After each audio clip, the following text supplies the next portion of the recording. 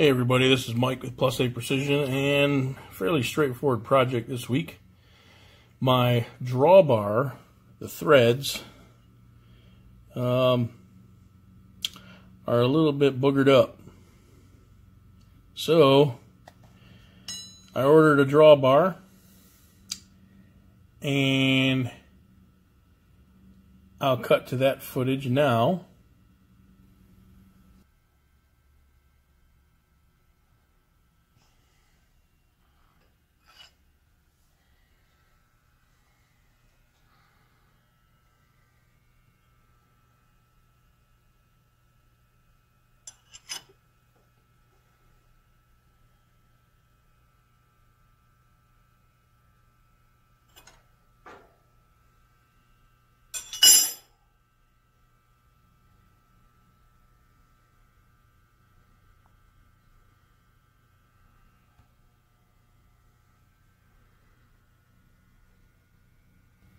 And here we're back.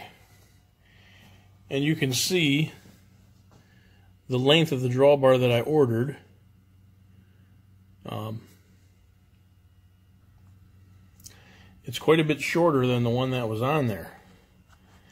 And this says a J2, which I'm assuming is for a variable speed head. The one I ordered was for a um, step pulley head, which is what I have. But as you saw in the video, I do not have a Bridgeport. So my back gear armature, uh, I'm not sure what that's called, back gear ring, maybe it's taller than a Bridgeport, I don't remember. Um, I haven't been up close and personal with a Bridgeport in quite a few years. So I don't know if um, if this would fit fine. But as you can see in the video, uh, there's not much sticking out of there. So, I'm not sure how I'm going to do this. I got a couple ideas. This one was a tough son of a to get off of this shaft. It was pressed in and pinned. I thought it was just pinned. I knocked the pin out and still wouldn't come off. Heated it up with a torch you can see the discoloration. And it had a fairly significant press for that diameter of a shaft. I think it was over a thou press on a 7 16 shaft. That's quite a bit. Um, so I guess we'll discover this together, how I'm going to fix this. I figure I could either disassemble this, but now I'm worried is that going to be a press fit? Or I've got another cutoff piece of a drawbar, do I add that to the end down here with, say, like a cold roll or mild steel pin between the two pieces, making sure that they align properly? I don't know. Sit tight and um, see where we go with this.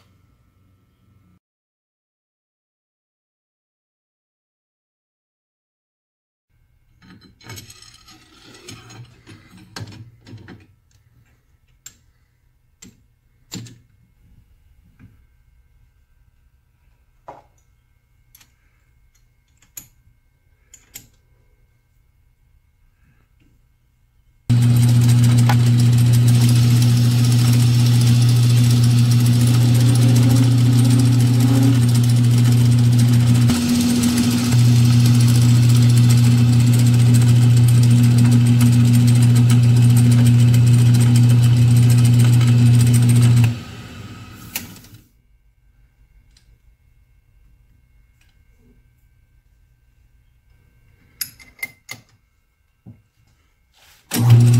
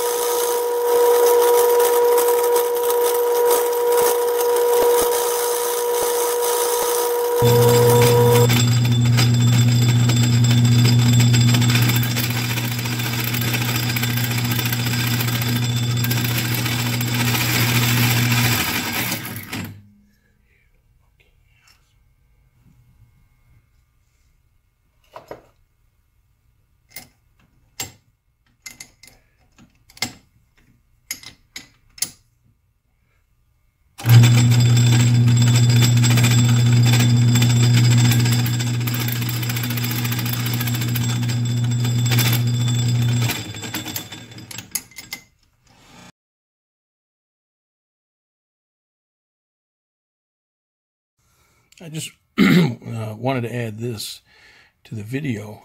Um, both of these holes are blind holes. And I made this pin out of tool steel. Uh, turned down to a diameter, that will fit inside of here. Not quite a, a full press, but perfect alignment. Well, whenever you have a blind hole, I don't know how this is going to show up. But if you can see that flat, there's a flat right here. I put that on on the belt sander. That way it, it allows the air to escape. Um, it's always a good thing to do. That way you don't have any, you know, um, airlock situations and allows your pieces to fit together properly. But I wish you could see that a little bit better, but I guess you can see it there. It's just a flat. It just takes a second. You're just taking that tangent. I reamed both these pieces with the same reamer. And I guess the only difference I did is this one I reamed without putting the chamfer on first, which is a no-no. This one I put the chamfer on. And the speed was probably the same. I should have lowered the speed down a lot more. A lot of times when you run a reamer slow, you get a tighter hole. If you run a reamer fast, you'll get a looser or a more loose hole. So you can see I marked up this pin.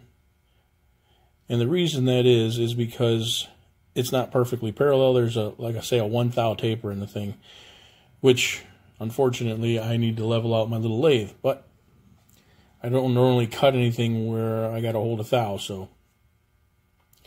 But on here, you can see it, it's a slip fit into this piece. It's also a slip fit into this piece. But yet the other end is not a slip fit in this piece. But it's still a slip fit in this piece. So, how do I make this thing grow a little bit so at least I'll have a press in there. So when I at least get it up on the drill press and uh, get ready to drill for the roll pins, it'll stay together on its own. It'll still be in a vise, but so here's a little trick, and I'll show you what I'm talking about in just a minute. All right, so we're back over here on the lathe. I haven't done any knurling on the lathe, so I don't know how it's going to handle it. But that's the trick. You take your pin where I have the green marker and we're going to put a knurl in that area. What that'll do is that'll actually enlarge the diameter um, and hopefully allowing it to have somewhat of a press fit into those hex pieces that are going to go onto the drawbar. Um, that is part of what knurling can be doing for you is is it's actually a forming operation so you're actually enlarging the surface uh, when you put the knurls on. So just remember that's a little, I guess, a little tech tip, little pro tip.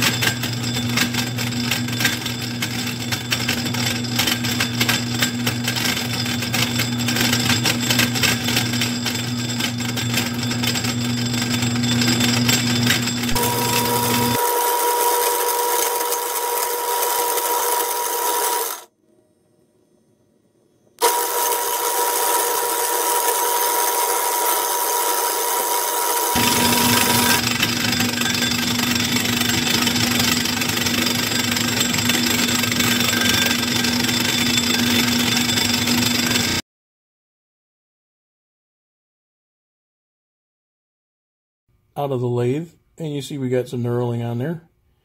Just in one spot like I wanted. So, the diameter of this pin is 436 and 7 sixteenths is 437 maybe and a half right okay so I wanted to add the knurling so I could get a little enlargement on the diameter of this shaft So let's measure the, the knurling area. Oops. And you see we've increased by roughly eight thousandths by adding the knurling. So that's a handy little tip because if you can see here, that part still goes in, which it did before. It starts there, but then it stops on the knurling. And it's not like it's a, you know, it's going to take a little bit of press. Not a lot, but a little bit of press. Same thing here.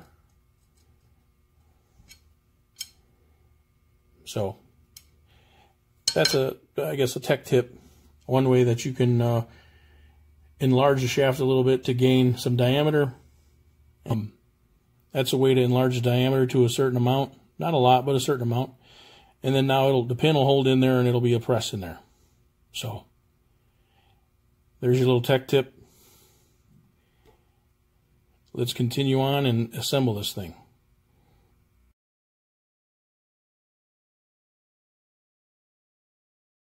All right, so now we're in the vise. we're going to go ahead and drill this, center drill it, and then drill it with an eighth inch drill, and put the uh, the roll pins in or the split pins, and then uh, this will be wrapped up.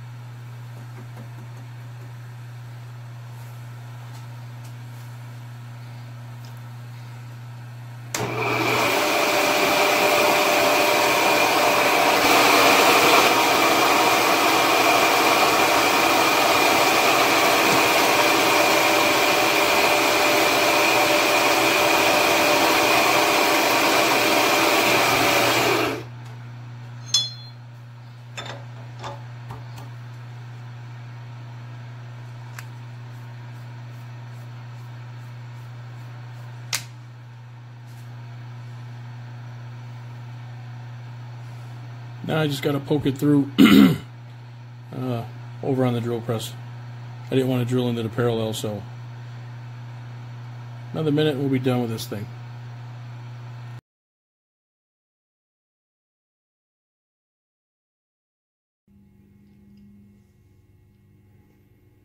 All right, there we go. The holes are done all the way through. And uh, just going to pound them in here up on this anvil get this project all done and out of the way. I don't think I've shown this on YouTube. Um, I did post some pictures on um, Instagram. I do have an Instagram. It's basically the same thing, Instagram plus 8 Precision. Go check it out. I'll put there's a link always in the description. But my son made me this for Christmas. Um, still got to do a little bit of milling on it, square up some of these sides and what have you. But uh, yeah, I wasn't expecting it. Didn't know he was doing it. Did it all on his own. Did this with a 4-inch grinder. Did a pretty good job. But enough of that. That'll be a project in the future. So let me go ahead and uh, get these roll pins in and be done with this project.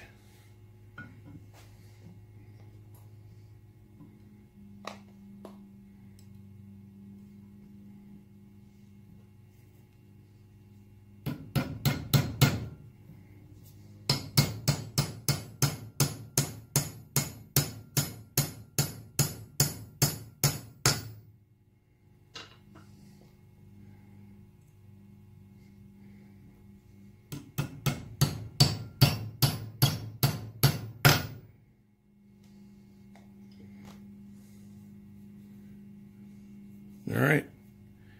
Cut those off with a little cutoff wheel and we are done.